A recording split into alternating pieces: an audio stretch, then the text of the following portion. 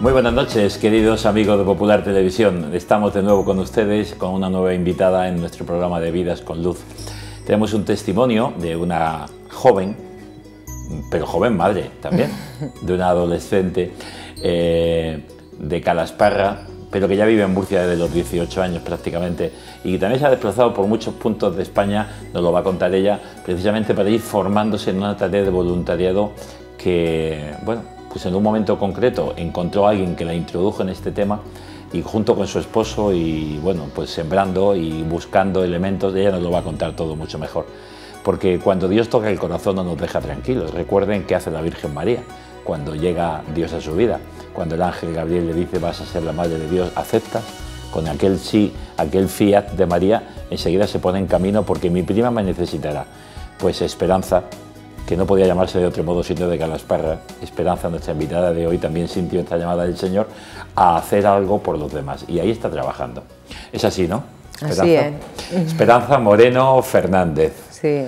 Eh, a ver, cuéntanos tu infancia, a ver quién eres tú, qué, qué, pues eres la mayor de dos hermanos. Sí, soy la mayor de dos hermanos. Eh, eh, soy de Calasparra, he vivido en Calasparra hasta los 18 años y mi vida, la verdad que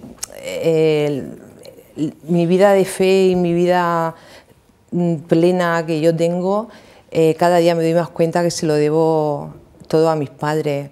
Eh, soy una privilegiada de haber caído en esta familia. Eh, han sido unos padres, mi padre Mm, con su carpintería, la carpintería era de mi bisabuelo. Tú dices que pudo haber estudiado y sin embargo... Sí, sí, podían haber sido personas de universidad, pero eh, su entrega y su desgaste hacia los demás le, le, introdujo a mi padre a ponerse a trabajar muy joven, eh, puesto que tenía la posibilidad de la carpintería con su abuelo y con mi abuelo. Y, entonces nos ha transmitido el valor del trabajo, el valor del trabajo bien hecho, el valor de la, perfección, de la responsabilidad.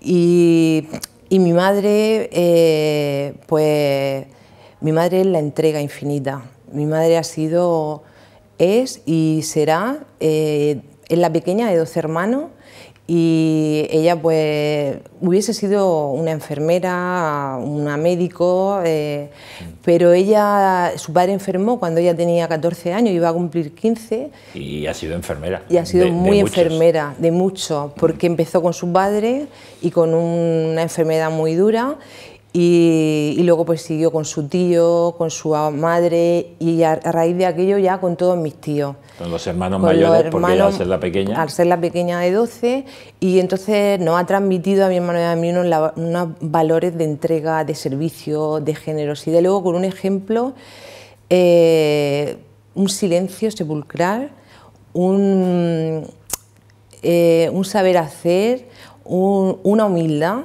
Eh, que, como dice mucha gente y sacerdotes que la conocen, ella es una santa de la puerta de al lado. Lo que dice el Papa, ¿no? Los mm. santos de la puerta de al lado. Pero totalmente. No hay que irse a buscar grandes vidas porque las tenemos cerca. Muy cerca. Porque son, son grandes en lo pequeño de cada día. Además, si les preguntas, si se les dices a ellos algo, se dicen, no, pero vamos, no me, no me aplaudan, no me digan nada, pues esto es normal, si esto... Y tú dices, Dios mío, y yo no soy capaz. Mm, Pero también le debe mucho a tu abuela, ¿no?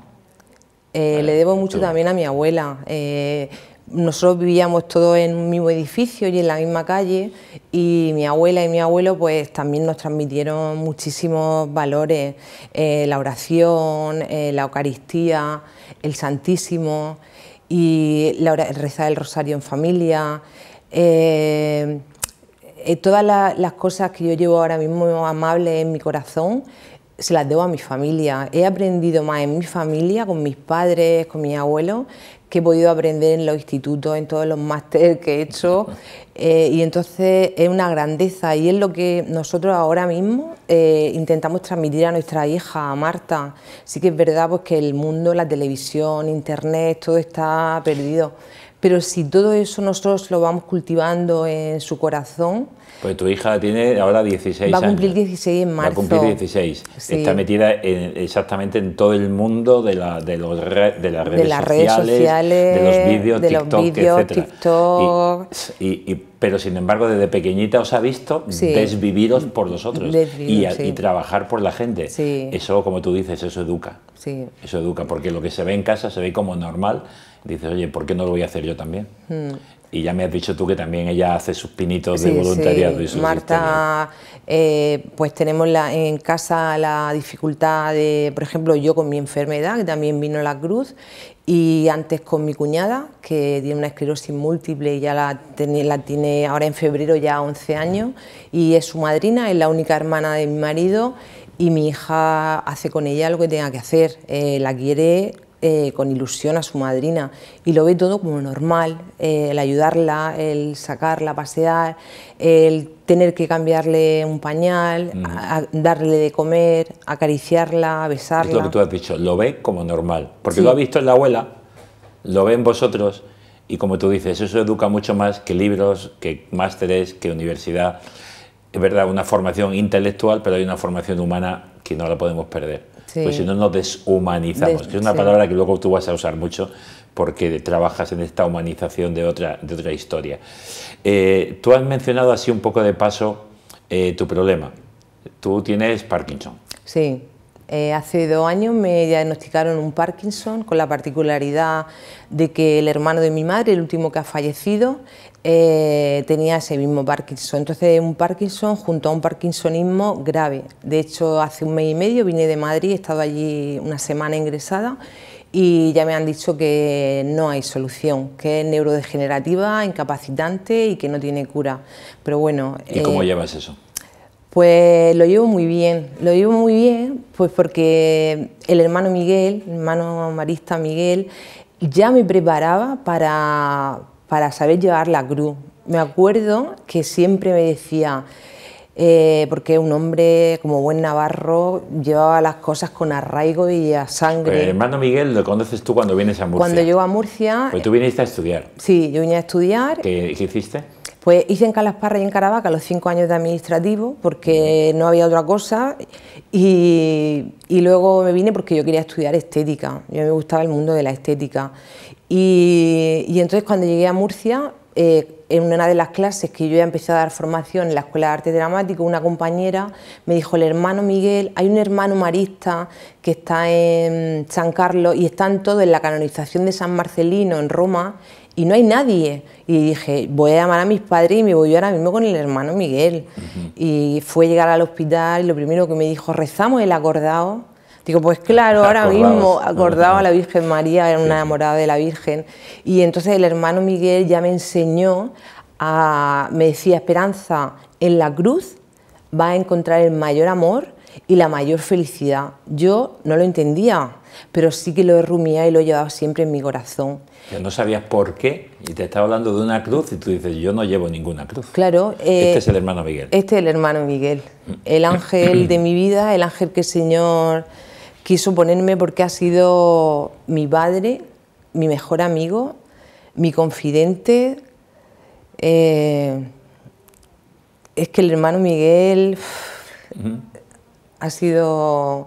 Y él ya me preparaba. Yo ahora lo pienso, luego cuando en la oración, yo entonces digo, hay que ver, hermano, cómo ya me preparaba para para, saber que, se puede, como él, como, ellos decía, cómo es posible con esa enfermedad tan grave que tenía, cómo tiraba hacia adelante, cómo seguía con su, con su voluntariado, cómo llevaba una vida ordenada, cómo hacía de, lo ordinario algo extraordinario cada día y era un ejemplo como el ejemplo que me daba a mí mi padre de cada trabajo, de cada... No es lo mismo como decía mi padre, cerrar una puerta que cerrar bien una puerta.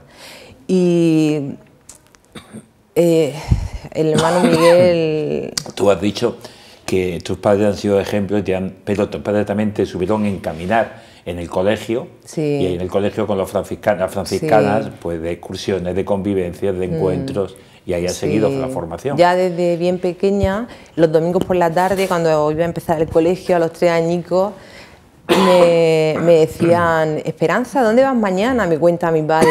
Y yo ya le decía, yo mañana voy al colegio, pero también a la catequesis. Yo ya tenía esa... Digo, el Señor ya me iba eh, preparando porque, porque Él me quería para Él. O sea, el Señor te iba preparando. Yo Madre mía. pienso y lo veo que ha sido, que soy una privilegiada, una privilegiada. Por eso ahora la cruz, la gente dice, pero qué fuerte esperanza, que ahora ya solo te han puesto morfina, ya no tienes nada, no tienes ningún tratamiento, solo Dice, morfina. solo morfina, no, solo. Solo. y yo digo, pero si es que cada día amo más la cruz y le doy gracias a Dios por la enfermedad. Le doy gracias porque quizás sin esta enfermedad, eh, no, sin esta cruz, eh, no estaría viviendo lo que estamos viviendo en casa, en mi familia, con mis padres, con mi hermano. Eh, está siendo enorme, enorme. Gráficamente, ¿esta cruz dónde está? Esta cruz está en el Escorial, eh, en la capilla de, de unas monjicas que tienen ahí su residencia y a mí me, me impactó mucho la cruz porque es grande y pesada. Y yo siempre le pido al Señor que aunque sea grande y pesada, que no la arrastre, que sepa llevarla, que me ayude a no arrastrarla. Y, y- la veo una cruz eh, dura, pero muy sencilla. Muy sencilla porque con él Y, a ver, cuéntanos cómo aparece tu marido en tu vida, cómo aparece en qué momento y, y- de- y- y cómo aparece la tarea de voluntariado en el que estáis metidos desde hace ya un tiempo. Sí. A ver, cuéntanos esto que es Pues, muy interesante. Nacho aparece, eh, bueno, yo estaba con, con Isabel, con Tere y con Manolo, que es que la- el Señor también me ha puesto a mi lado mucha gente buena, gente que me ha alzado tanto en los estudios como en el trabajo como en la vida espiritual. Y el, el estar con ellos eh, es llevarte a todo lo grande. Tú estabas en una, eh, en una En la perfumería. perfumería y con esteticista también, ayudando un poquito, Sí, ¿no? con Isabel. Y entonces nada, pues Nacho estaba en, en cursillos de cristiandad y estaba en la hospitalidad. Y entonces pues ellos querían que, que yo hiciese un cursillo de cristiandad. Pues allá que me fui a hacer mi cursillo, eh, allá que viví mi cursillo y entonces en mi clausura Nacho venía de Guadalajara y entonces dio el testimonio de Guadalajara, porque él, él estaba como vocal de jóvenes en, la- en el cursillo. Y entonces yo, cuando me quedé impactada de oír De su testimonio. de testimonio, y entonces corriendo bajé y le dije al hermano, hermano, ¿has oído ese joven? ¿Qué testimonio que ha dado? Y dice, claro, si te lo estoy diciendo, que hay mucha gente joven en la iglesia que... Y ya pues ahí empezamos el recorrido, ya este año, si Dios quiere, 21 años. Fíjate cómo, cómo Dios escribe las cosas y las hace. Mm. Luego nos, nos damos cuenta y decimos casualidades, ¿no? No, son diosidades. Diosidades. Muy bien. ¿Y, y cómo fue meteros en el voluntariado? Porque estás trabajando en la pastoral penitenciaria. Sí. Eh, cuéntanos, a ver, ¿cómo surge esto? ¿Qué pasa? ¿Con quién? Porque aquí hay otro elemento. Por un lado estaba el hermano Marista y ahora aparece también, ¿quién? Pues aparece, yo siempre he, tenido la suerte de hacer mucho voluntariado, el voluntariado de, con las hermanitas de los pobres, el voluntariado en paliativos, también en la Casa Cuna hemos estado muchos años, Nacho y yo, y eh, aparece, le dije a una, una chica que llevaba el voluntariado de paliativos, digo, es que a mí me gusta la cárcel, digo, es que me parece, ese voluntariado me parece de otra pasta, me parece distinto. Y entonces me puso en contacto con Herminio, que Herminio es un compañero que lleva ya 24 años en Sangonera, en la pastoral penitenciaria, y ahí que Herminio nos cogió de la mano. Pero aparte de eso, yo llevaba ya muchos años, todos los viernes, eh, escuchando al padre don José María Carol. Y a mí es que aquello me enriquecía, me llamaba más. Eso me en su programa, en, en el programa, de Radio María, Radio cada, María, viernes. cada viernes a las 11 de la noche y, y entonces pues eh, a mí me conquistaba cada vez más y cada vez más.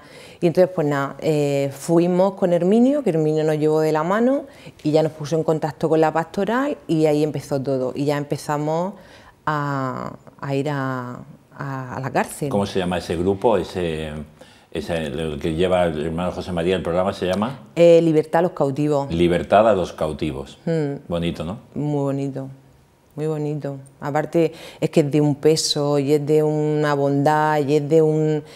Ese hombre eh, es que ama, ama el mundo de la prisión y ha hecho que yo cada día y cada año y cada lo ame más. Y ahora pues los viernes por la noche normalmente eh, también colaboro con él. En radio, sí. desde aquí.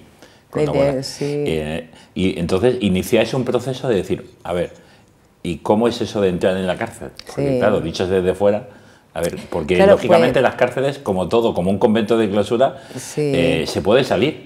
Eh, pero entrar no se puede, es más complicado entrar que salir. Sí, pues la cárcel, eh, hay por ejemplo la universidad puede entrar, en, los colegios puede entrar, pero en la cárcel no hay acceso, no hay un acceso, y entonces lo que no se conoce no existe. Y por eso muchos muchos internos me dicen, Esperanza, eh, para mí el último eslabón era Dios. Dice, y aquí he conocido a Dios eh, con esta pastoral, estando aquí en la cárcel.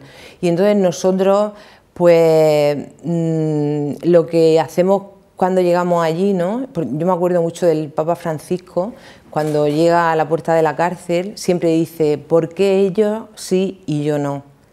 Y entonces lo que nos quiere decir Papa Francisco con esto eh, es que Papa Francisco es tan enorme que ni los de dentro son peores que los de fuera, ni los de fuera son mejores que los de dentro, porque quizás en este momento aquí podría estar sentado una persona que esté dentro de la cárcel y yo podría ser la que esté dentro. Sí, porque las circunstancias que esa persona le han llevado a que en ese momento haya cometido un delito por el que está pagando socialmente, que aquí nadie está justificando nada, pero yo lo hubiera hecho igual o peor o no. No lo sabemos. Claro, esa persona no ha tenido la suerte que he podido tener yo de tener una familia, como he dicho antes, estructurada, una familia que me han educado en los valores de la fe, en la oración, en la dignidad como persona. Y entonces quizás podría ser yo la que estuviese allí y él estar aquí. Y por eso es tan importante eh, la misericordia de Dios, que ellos vean y que no pierdan nunca la dignidad como persona. una, cosa es cumplir con una pena social y otra cosa es sentirse que no son nada. Sí. Yo siempre se lo decimos en la pastoral penitenciaria, todo ello. Para Dios importa. Para Dios eres lo más grande y que vean eh, en Dios, en nosotros, la misericordia de Dios. Que yo muchas veces claro, la verdad que tengo también mucha suerte de, poder hacer oración, mi Eucaristía diaria con mi marido, el rosario, que lo rezamos en familia.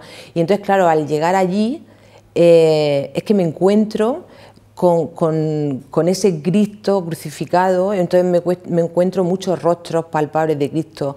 El Cristo roto de la droga, el Cristo roto de la mujer maltratada, el Cristo roto de, de los nuevos delitos.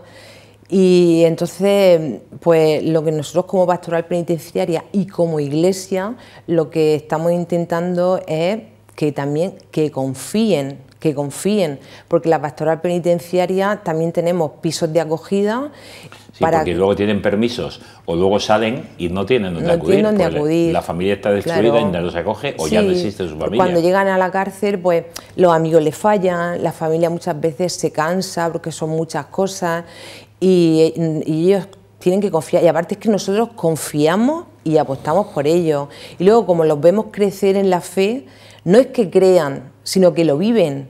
Y es tan hermoso ver cómo poco a poco ellos lo van viviendo. Lo que tú has dicho, lo que tú has dicho, yo he tenido la suerte, o, o Dios ha querido, que yo nací en una familia estructurada que me ha transmitido unos valores.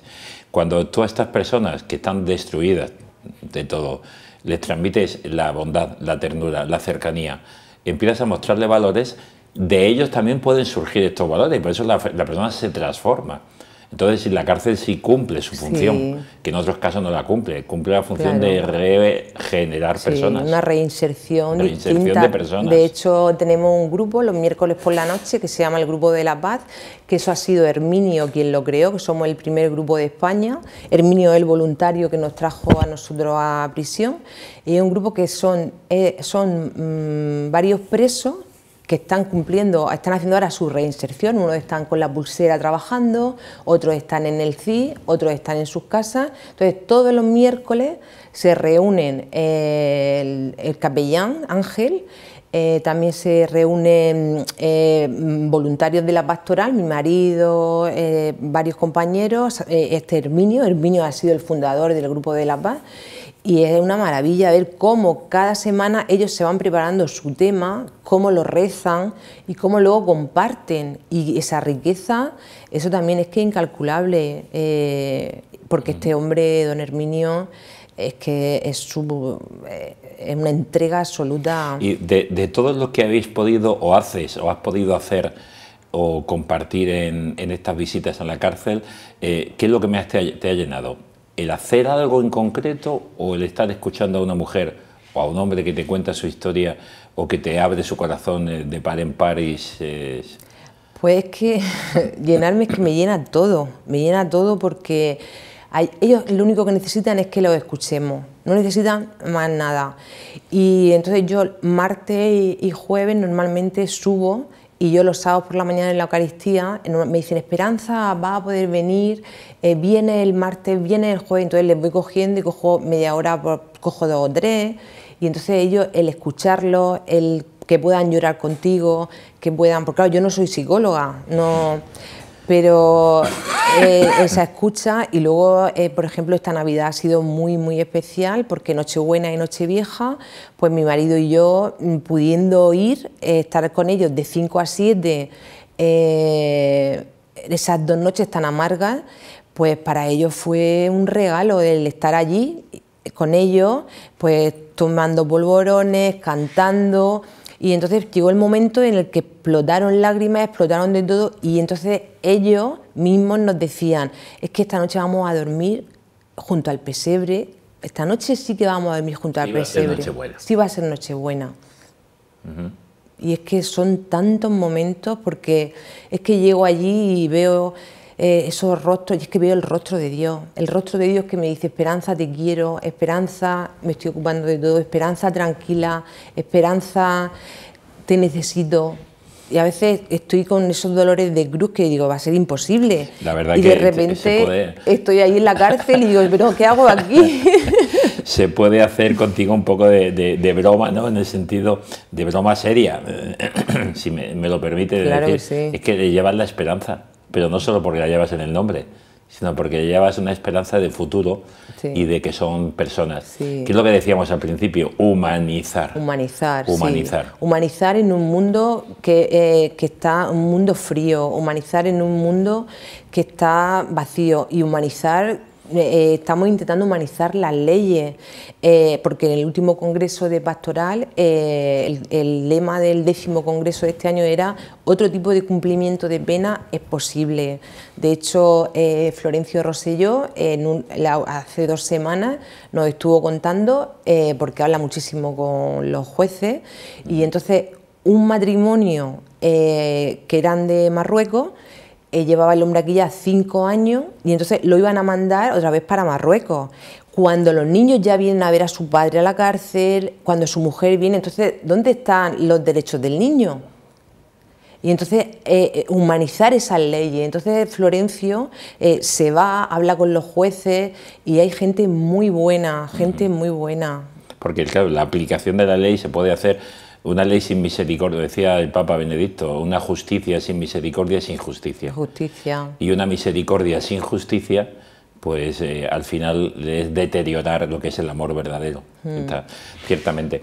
Eh, te tuvimos hace años una estudiante que estaba haciendo entonces, eh, creo que era cuarto, tercero o cuarto de psicología, y que era catequista catequista de confirmación. Sí, nosotros el día 21 de enero, si Dios quiere, se confirman 15 internos y estamos súper contentos de las confirmaciones.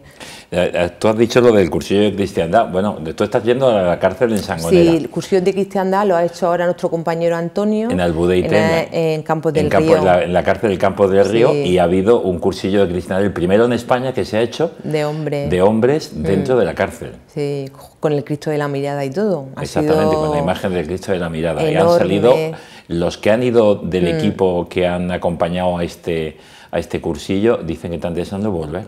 Volver otra vez. Claro, es lo mismo que pasa en las cárceles de Barcelona con el padre José María Carol, que están haciendo EFETA en las cárceles de jóvenes. Las convivencias. Y bueno, están siendo unos retiros eh, impresionantes, porque es que se encuentran con Dios ellos, ellos se encuentran.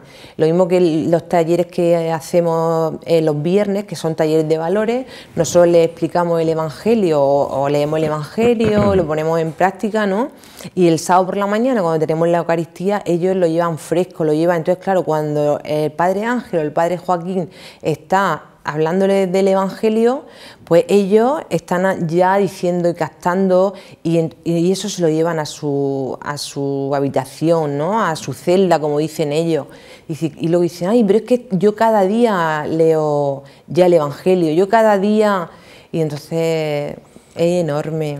Es un voluntariado de otra pasta eh, tenéis mucho problema en entrar, ya, ya estáis habituados, es decir, hay muchos problemas de entrar en la cárcel. Bueno, me imagino que también es verdad que hay determinados lugares que no podéis visitar y hay presos de varios tipos, sí, eh, tenemos que pasar, eh, bueno, primero tienen que venir todos los papeles de Madrid, eso se lleva unos meses, eh, y luego nada, para entrar, hasta entrar donde están ellos son siete puertas que son, eso es lo que oyen ellos, porrazos, el patio oscuro, eh, los mismos olores, los mismos colores cada día. Y, es duro, es duro entrar porque igual que cuando yo voy a las 5 a los módulos, hay cuatro módulos, hay dos módulos de respeto, eh, luego está el módulo 2, que es un módulo muy conflictivo, y el módulo 3 también, y luego está el módulo de enfermería. Y cuando yo voy a por ellos, que voy a las 5 5, empiezan ra, ra, cómo se van abriendo las puertas. Y luego, claro, a las 8, cuando yo estoy en mi casa, se van cerrando y al mismo tiempo... Y tú casi escuchas las puertas. Sí, yo voy rezando.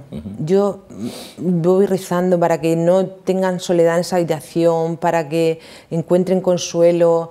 A lo mejor a esa hora yo estoy hablando con una madre, estoy hablando con una hermana, estoy hablando con una mujer. Y, y más allá de toda esa satisfacción que, que tú experimentas al verlos a ellos agradecidos y sobre todo tú aprendiendo también muchísimo, de cómo dar, porque uno aprende mucho más cuando da. Es tan poco lo que damos para lo que recibimos que si la gente se diera cuenta, estarían los hospitales, las cárceles, estarían los voluntariados a reventar. Pero yo te, lo que te quería preguntar una cosa, porque es verdad que tú lo tienes eso, pero seguro que también más de una vez has escuchado, no sé si de amigos o de desconocidos, ¿qué hacéis allí? Mm. Con esta gente que no merece nada. Claro, pues somos una pastoral antisocial, anti, anti todo. Y, entonces nos dicen barbaridades. Y entonces, pues nosotros nos toca mm, a veces si se dejan explicarle un poco, que nosotros no vamos por la justicia, eh, vamos por la, por la, por la misericordia de Dios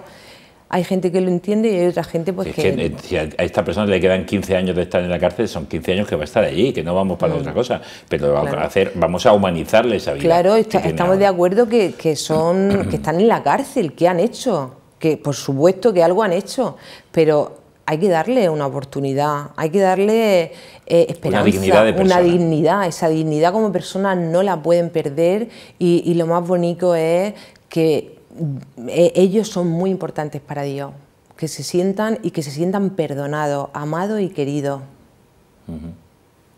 Precioso la experiencia. Y si alguien quiere meterse en ese grupo con vosotros, ¿qué tiene que hacer? Sí, pues nada. Porque si alguien puede estar escuchando esto, dice, yo nunca me lo había planteado. Sí, sí, el, otro día, el otro día nos decía, Eh, el cardenal, Monseñor Omeya, porque es que como es un cielo, eh, como dice, soy un cura de pueblo, Esperanza. dice, Yo le conozco como JJ, porque le conocí en Manos Unidas cuando prácticamente le iniciaba como obispo. Dice, si los voluntarios de la cárcel tendríais que pagar vosotros por venir a... Vosotros sois los que tendríais que pagar. Eh, pues nada, tienen que ponerse en contacto con la pastoral penitenciaria y la verdad pues que hace falta muchas manos porque es que se pueden hacer talleres de tantas cosas y ellos esa hora, esas dos horas que salen con nosotros, pues ya salen del módulo, salen del sitio, cuando vamos a la Eucaristía es una gozada porque ven la Eucaristía llena y cuando en septiembre fue la Virgen de la Merced y todos ellos sacaron a la Virgen a pasear por todos los patios es que es muy grande y entonces solo eso, eh, eh, ponerse en contacto con la pastoral penitenciaria y ponerse a trabajar. Y lo que pasa es que es un voluntariado que sí que necesita un compromiso muy especial. Claro, porque no puedes ellos decir, te esperan. ahora sí, luego no, y mm. no les puedes defraudar cuando les has dado una esperanza de que hay alguien que les ama. A pesar de todo, el amor y la ternura de Dios y la misericordia están, no puedes mm, fallarle, porque entonces si le fallas tú también, sí que pierden totalmente pierden la confianza y el sentido, y entonces ellos, eh, es que te están esperando, el, el día que sea, ellos están en el patio ya en su grupico, esperando a que venga la gente de la pastoral a recogerlo. Eh, eh, han creado grupos muy bonitos, muy bonitos. Le voy a pedir a, la realización que terminar, porque habíamos pensado terminar con una foto, con, con, pero vamos a terminar con la imagen de la Virgen.